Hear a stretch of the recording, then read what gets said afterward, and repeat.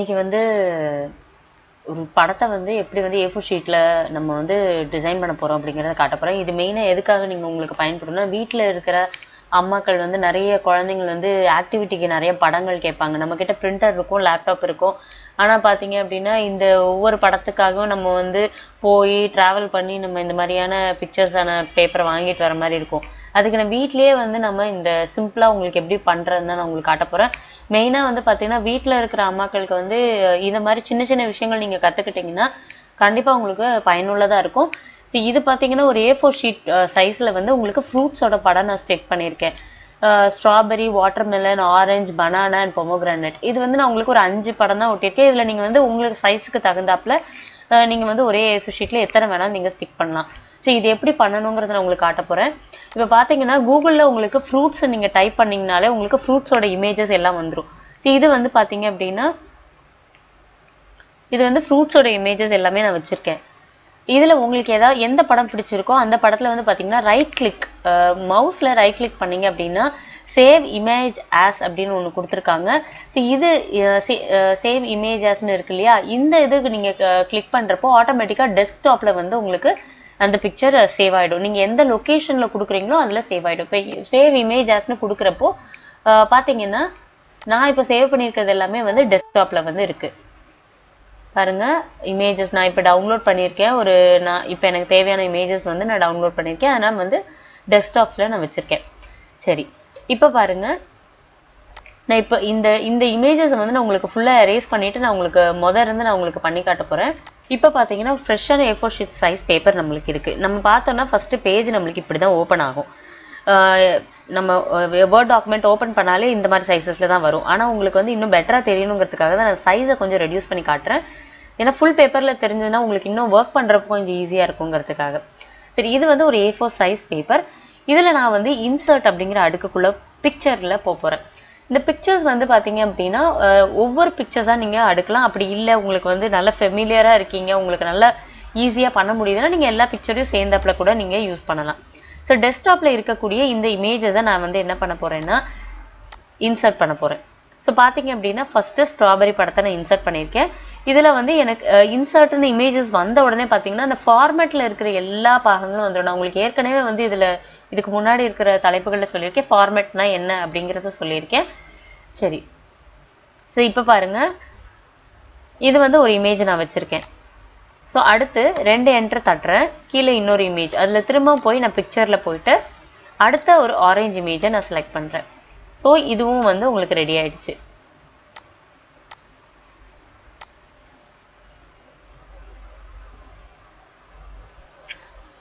இப்போ பார்த்தீங்கன்னா தெரியும் நான் இமேஜஸில் வந்து ஒரே லைனாக கொடுத்துட்டு இருக்கப்போ அடுத்த இமேஜ் வர்றதுக்கு ரெண்டாவது பக்கம் ஆட்டோமேட்டிக்காக எடுத்துகிட்டு வந்துருச்சு.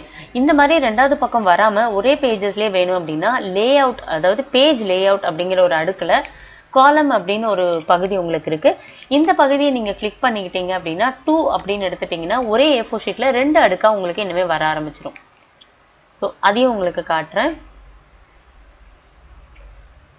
இப்போ பாருங்க இப்போ இந்த இந்த பனானா அப்படிங்கிற அடுக்குக்கு அடுத்து நான் எனக்கு வர வேண்டியது வந்து பார்த்தீங்க அப்படின்னா ஆட்டோமேட்டிக்காக கர்சர் வந்து எங்கே நிற்கிது பாருங்கள் இந்த இடத்துல உங்களுக்கு தெரியுதுங்களா?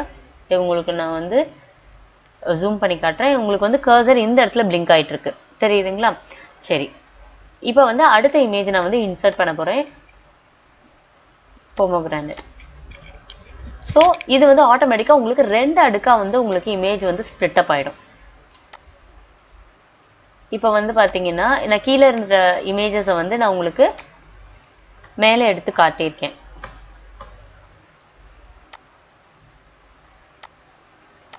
சரி இப்போ இதில் வந்து உங்களுக்கு நேம்ஸ் ஆட் பண்ணணும் இல்லையா? நான் நேம்ஸ் ஆட் பண்ணுறதையும் உங்களுக்கு நான் காட்டுறேன். ஸோ கொஞ்சம் ஸ்பேஸ் விட்டு நீங்கள் வச்சுக்கிட்டிங்கன்னா உங்களுக்கு வந்து நேம் அண்ட் இது ஆட் பண்ணுறதுக்கு உங்களுக்கு ஈஸியாக இருக்கும்.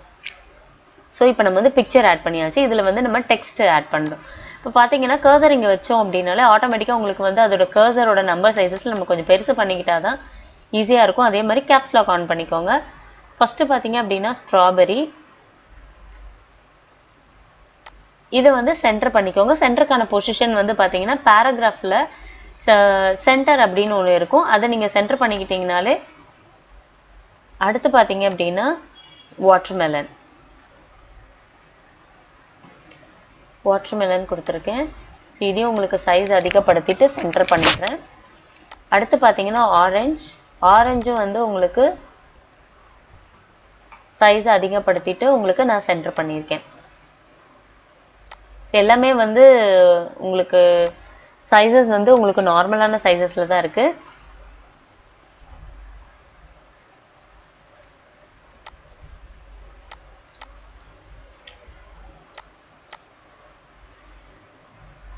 இதையும் சென்டர் பண்ணுங்கள் சென்டர் பண்ணால் தான் உங்களுக்கு இமேஜஸ் வந்து பார்த்தீங்கன்னா அந்த இதில் இருக்கிற மாதிரி உங்களுக்கு கிடைக்கும். ஸோ உங்களுக்கு கர்சர் கீழே வரல அப்படின்னா பிக்சரோட எண்டில் வச்சிங்கன்னா உங்களுக்கு கர்சர் இந்த இடத்துல மின்றது உங்களுக்கு தெரியும். அதுலேருந்து நீங்கள் டபுள் என்டர் கொடுத்தீங்க அப்படின்னாலும் கர்சர் வந்து உங்களுக்கு தேவையான பொசிஷன் ஏரியாவுக்கு வந்துடும் இப்போ சென்டர் பண்ணிட்டுங்க. சென்டர் பண்ணிவிட்டு நம்ம சிக்ஸ்டீனில் வச்சுருக்கோம். பொமக்ரானட் சரிங்களா? இது வந்து ஓகே இப்போ என்ன பண்ண போகிறோன்னா இந்த இமேஜஸ்லாம் வந்து மெயினாக நம்மளுக்கு பாக்ஸஸ் போடணும். பாக்ஸஸ் போடுற மாதிரி இருந்ததுன்னா ஓகே இல்லை பாக்ஸஸ் தேவையில்லை அப்படின்னாலும் பிரச்சனை இல்லை. பாக்ஸஸ் எப்படி போடணுங்கிறத உங்களுக்கு சொல்லிக் கொடுக்குறேன். இன்சர்ட் அப்படிங்கிற அடுக்கில் ஷேப்ஸ்னு இருக்கும். அதில் வந்து பார்த்தீங்க அப்படின்னா உங்களுக்கு ரெக்டாங்குலர் ஷேப் எடுத்துக்கலாம். இதில் போயிட்டு நீங்கள் ரெக்டாங்குலர் ஷேப்பை நீங்கள் டிசைன் பண்ணிடலாம். இது பார்த்தீங்க அப்படின்னா ரெக்டாங்குலர் ஷேப்பை நீங்கள் டிசைன் பண்ண உடனே இமேஜஸ் வந்து பின்னாடி போயிடுச்சு. அதுக்கு நீங்கள் என்ன பண்ணணும்னா இதில் ரைட் கிளிக் பண்ணிவிட்டு ஆர்டர் அப்படிங்கிற அடுக்குக்குள்ள சென்ட் பிஹைண்ட் டெக்ஸ்ட் அப்படி கொடுத்துட்டிங்கன்னா இமேஜும் அந்த வார்த்தை டெக்ஸ்ட்டும் முன்னாடி உங்களுக்கு வந்துடும் ஸோ இதை என்ன பண்ணீங்கன்னா நீங்கள் இதே மாதிரி இன்சர்ட் பண்ணிகிட்டே போகலாம். எல்லா ஷேப்ஸ்லேயும் வந்து நம்ம ரெக்டாங்குலர் ஷேப்பை நான் வந்து இன்சர்ட் பண்ணிடலாம். இன்சர்ட் பண்ணிவிட்டு ஆர்டரில் கொடுத்து சென்ட் பிஹைண்ட் டெக்ஸ்ட் கொடுத்துட்டோன்னா இதாகும். இப்போ நீங்கள் பார்த்தீங்கன்னா இந்த இமேஜ் வந்து கொஞ்சம் வெளியே வந்திருக்கு. ஸோ அதுக்கு என்ன பண்ணணும்னா நம்ம வந்து கொஞ்சம் கரெக்ட் பண்ணணும். அது எப்படி கரெக்ட் பண்ணணும்னா இந்த இமேஜை கொஞ்சம் சின்னதாக்கலாம். சின்னதாக்கிட்டு இதை சென்டர் பண்ணிக்கலாம். ஸோ நம்மளுக்கு தேவையான மாதிரி நம்ம இந்த இமேஜஸ் வந்து எப்படி வேணாலும் நம்ம ரெடி பண்ணிக்கலாம். ஸோ இது ரொம்ப முக்கியமானது அதுதான். ஏன்னா ஒவ்வொரு தடவையும் வந்து பார்த்தீங்கன்னா எ- எந்த அளவுக்கு நம்ம வந்து அட்ஜஸ்ட் பண்ணுறோமோ அதோட டிசைன்ஸ் வந்து உங்களுக்கு இன்னும் ரொம்ப அழகாக தெரியும். முடிஞ்ச வரைக்கும் இந்த மாதிரி அட்ஜஸ்ட்மெண்ட்ஸ் எல்லாமே கொஞ்சம் கற்றுக்கோங்க ஏன்னா இது எல்லாமே பை ப்ராக்டிஸ் மட்டும்தான் உங்களுக்கு வரும்.